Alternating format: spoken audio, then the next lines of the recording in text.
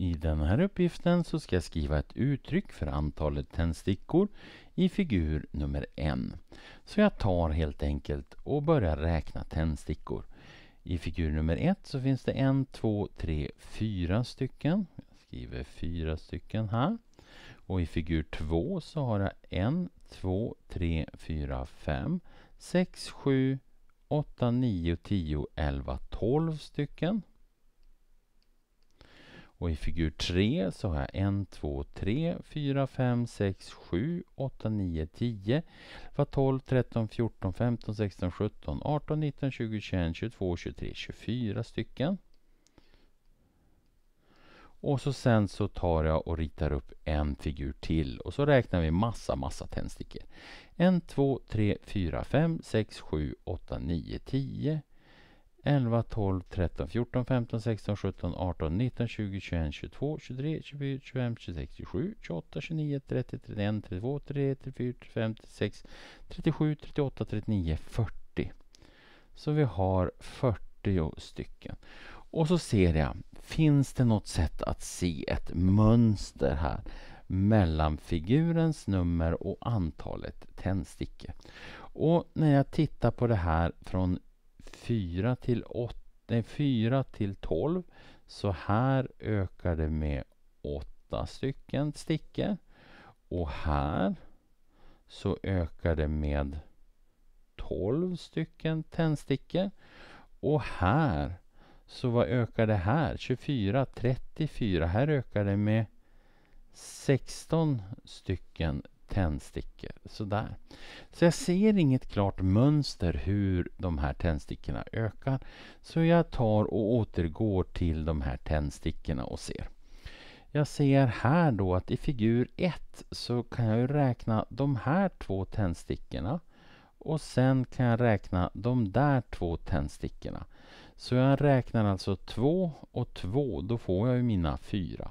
Och det är ju en mer än Eh, figurens nummer här och en mer än figurens nummer där. Och här i figur 2 så kan jag ju räkna då 2 eh, tre gånger åt det hållet och två tändstickor tre gånger åt det hållet. Så här börjar jag se ett litet mönster. Här så får jag räkna tre tändstickor. En, två, tre, fyra. Och en, två, tre, fyra gånger. Hmm. Nu börjar det eh, närma sig hur jag skulle kunna räkna det här då. Så om vi tar figuren, så om vi tittar på den här då, figur nummer två. Och så sen så försöker jag göra det här. Så tar jag då figurens nummer, det är 2. Och så sen så räknar jag ju det tre gånger. Alltså 2 plus 1 Sådär. Och så gör jag likadant här, figurens nummer och jag tar det 2 plus en gång. Så det här ska alltså multipliceras med 2. Om jag nu istället för tvåor sätter, de här tvåorna sätter figur nummer 1. Så jag får 2 och så sätter jag en parentes en plus 1. Sådär så ser jag att den här första parentesen den kan jag helt enkelt bara ta bort. Så jag får 2 n parentes n plus 1. Sådär. Och så ser jag, stämmer det här nu för den här figuren?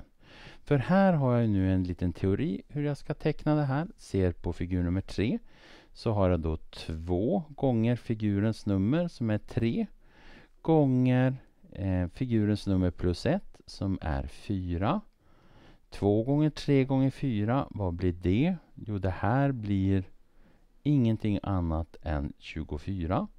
Så det stämmer. Ska vi se slutligen om det stämmer för den här också. Jag tar tvåan gånger figurens nummer som är 4 gånger figurens nummer plus 1. 4 plus 1 det är 5. Så jag har 4 gånger 5 är 20 gånger 2 det är 40. 40. Så det verkar också stämma. Så svar här. Uttrycket, det blir 2n, n plus 1. Sådär. Ett annat sätt att skriva det här på det är att multiplicera in 2n i parentesen. Och då skulle jag få 2n gånger n. Det blir 2n i kvadrat. 2n gånger 1 det blir plus 2n.